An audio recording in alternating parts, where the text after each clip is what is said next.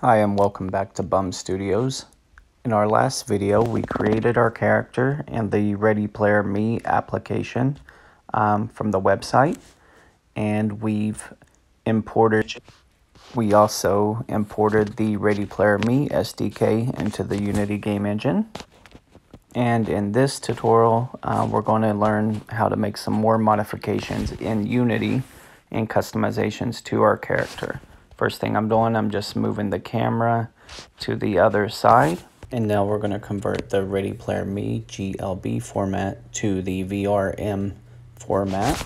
The first step in doing this, make sure your character's rotation and position are set to zero. And then you want to make sure you have your um, player highlighted under the hierarchy and then you're going to go to the VRMO tab at the top of your Unity game engine and then select export to VRM. That will bring up this screen. Uh, you want to create a title for your character and then it should open up a new category version um, and author.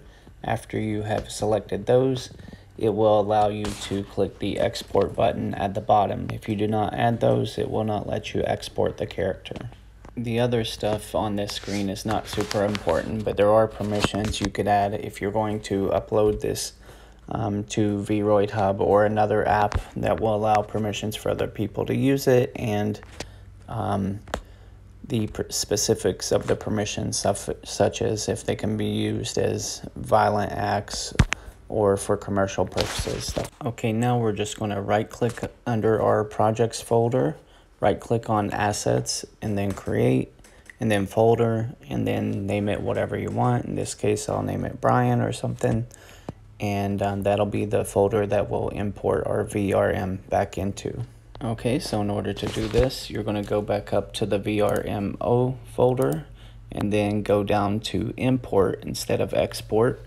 Find the one that you just created and then it'll ask you what folder you're going to load it into and um, then you're going to import it back into the project.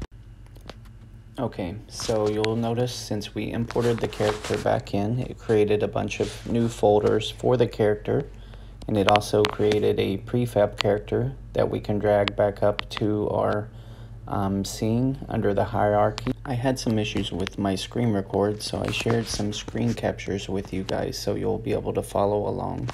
And the reason why we converted to VRM format instead of the GLB format is because for me it's easier to use and um, to make modifications because you have texture folders and all the things related to the character now um, instead of just the GLB format that doesn't provide you those things.